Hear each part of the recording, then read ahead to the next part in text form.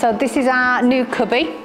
So when we were part of the steering group and the, the, the, various groups that got together with the view to look at our new library space, because we were talking about the need to have um, a space for students and staff if they wanted to come and either energise or calm things down if they're feeling anxious or, or overwhelmed. Um, and we hadn't, you know, we, we were working in this game for years, but we hadn't heard of the Cubbie. Um, so we got in touch with the company, who's a very new company, so about four years old. And then we scheduled a, a demo um, and it really went from there. So the Cubbie is, is designed to be an immersive experience for users who can have uh, programs set to 5, 10 or 15 minutes.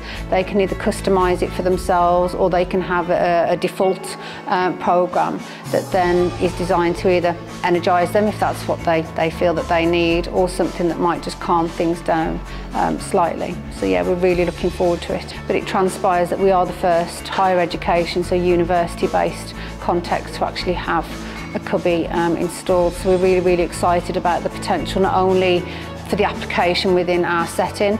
If you think about the research potential, the knowledge exchange potential, already today we've had NHS colleagues here who are exploring it for their, um, their context with children.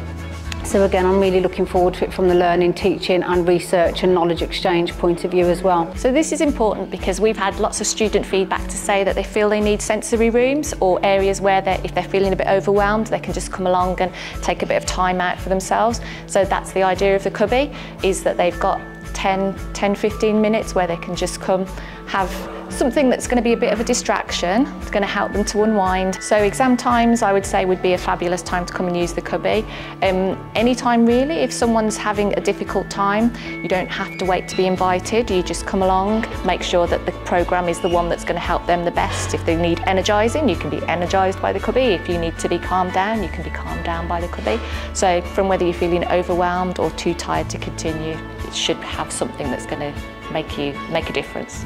Yeah, it's great to know that the resources are being provided for the students that have requested that they need.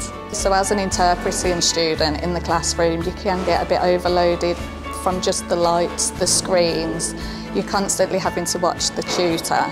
So when you come out of the class, you don't want to hear any language, you don't want to see any language, so it'd be nice to have somewhere quiet to just go and relax. Maybe just even close your eyes for a bit in, in privacy. It's uh, really positive. I think it's a, a, real investment in the students themselves, or in all of us. Um, any of us could come and use it uh, to decompress after a tough day.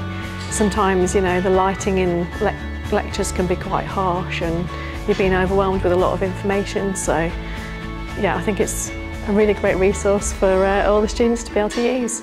This is my first time seeing the Cubbie in action. There has been a student feedback process and it's really great that the students uh, are being listened to, what they're, having their needs met um, so that they have this escape when they need it.